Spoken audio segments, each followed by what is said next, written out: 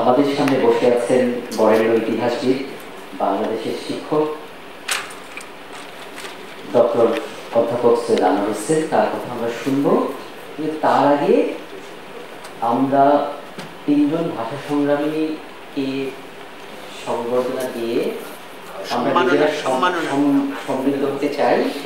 স্যারের হাত থেকে মফিদুল হক ডক্টর ইকবাল এবং আমাদের মঞ্চে যারা আছেন, তাদের হাত থেকে তিনজন ভাষা সংগ্রামী।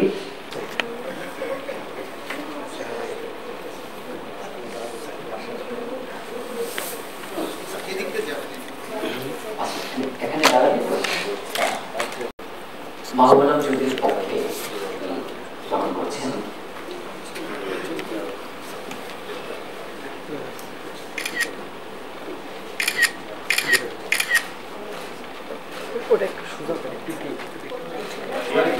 হ্যাঁ এদিকে।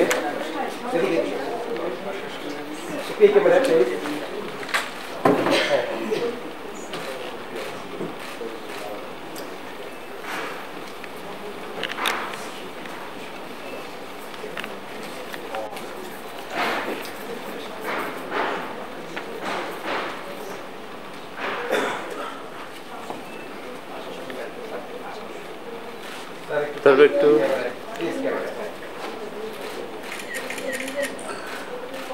আইরিন আহমেদ আপা আমাদের কুমিল্লার কৃতি সন্তান ভাষা সংগ্রামী এবং সত্তরের একটি আওয়ামী লীগের অন্যতম প্রতিষ্ঠাতা অ্যাডভোকেট আহমদ আলীর কন্যা।